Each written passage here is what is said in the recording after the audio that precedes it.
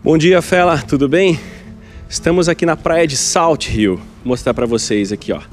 É uma praia que fica mais próxima aqui do centro, tá? Uh, o centro fica para aquela direção. Se você pegar a costa, você consegue chegar no centro. Ou se você pegar algumas ruas e ir cortando aqui, também chega no centro, ok? Essa aqui é a praia que o pessoal vem fazer sua caminhada diária. Uh, seus exercícios, passear com os cachorros. E aqui você vai perceber que não tem cocô no chão.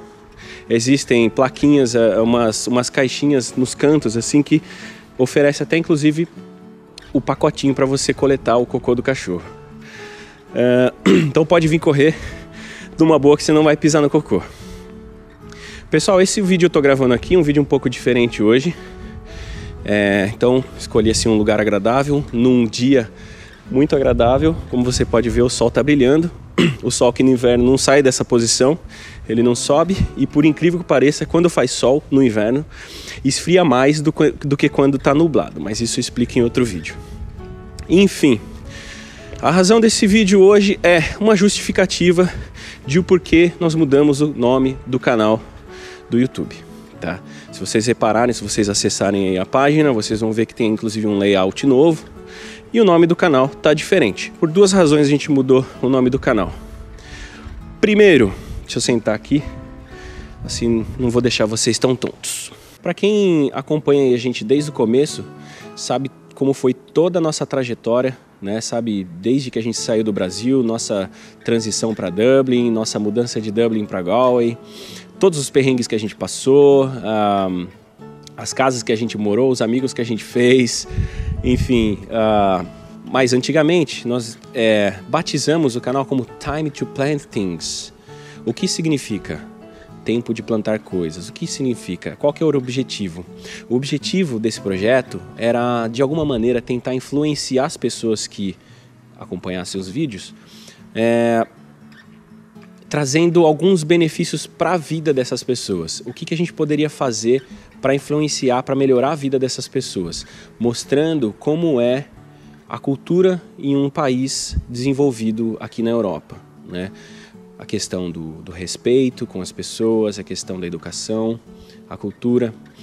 E claro que a gente é, quis também ajudar, não é, mostrando para querendo ampliar a cabe, o horizonte das pessoas em quando vier para a Irlanda que elas têm outras opções além de Dublin, né, para se estudar, para viver, para trabalhar, enfim, para faz, fazer uma universidade ou até para morar. Então, acho que esse foi um dos principais motivos que levaram as pessoas a sempre procurarem a gente, depositando na gente uma certa confiança, perguntando se a gente poderia indicar uma boa agência, se a gente poderia indicar uma boa escola, né? No fim, acabou que nós estávamos trabalhando durante o dia, às vezes a gente trabalhava 10, às vezes a gente trabalhava 12 horas por dia, e passava a noite respondendo os e-mails que não eram poucos.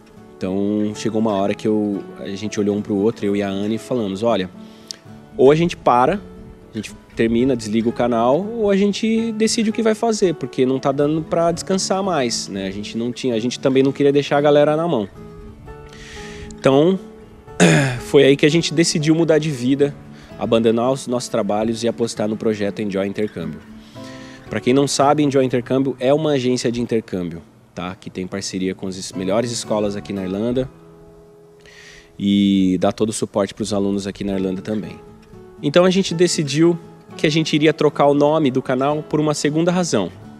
Nós estivemos uh, recentemente em outros países fazendo parceria com mais escolas, visitando mais escolas e expondo no canal como é inclusive a, a cultura em outros países, como que é o sistema de ensino das escolas, vocês podem acessar num projeto chamado, é uma playlist chamada Time to Enjoy the World, que é, isso eu explico depois, mas acessa lá e vocês vão entender.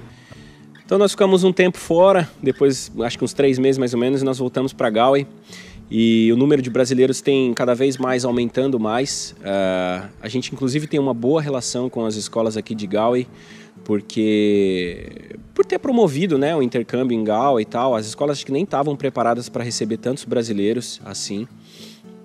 E, e aí a gente anda nas ruas e as pessoas vêm nos cumprimentar, não é? Pô, que legal, cara. Pô, assisti os vídeos de vocês. Inclusive, pô, a gente tava pensando em ir para outra cidade. A gente acabou vindo aqui para Gal e não sei o quê por causa dos vídeos. E olha, foi de extrema importância uh, assistir os vídeos para porque agora as coisas se tornaram um pouco mais fáceis pra gente. A gente não sabe nem como agradecer, eles falam. E aí a gente fica naquelas, né? Poxa, poderia ter fechado com a Enjoy. Né? Mas enfim, tô brincando. Então, assim, é... a Enjoy financia cada minuto dos vídeos, cada minuto das edições dos vídeos que chegam a durar aí às vezes mais de 20 horas de edição. Vídeos assim mais complexos que a gente gosta de fazer, os vídeos mais longos, principalmente os vídeos das viagens, né? E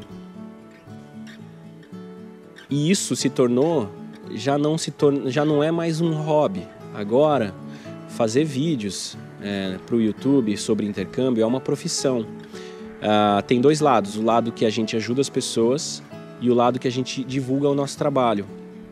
Então a gente acorda de manhã e já no WhatsApp conversando com as pessoas que estão no Brasil, passa o dia fazendo as pesquisas, entrando nos sites do governo para a gente coletar as informações, as novidades, fora as ligações que a gente faz para a imigração para falar as coisas com mais contundência. E, meu, as madrugadas que os consultores passam no Skype aí com, com os alunos que sempre têm as mesmas dúvidas, mas eles sempre respondem com a mesma paciência de uma pessoa que já passou por tudo isso, né?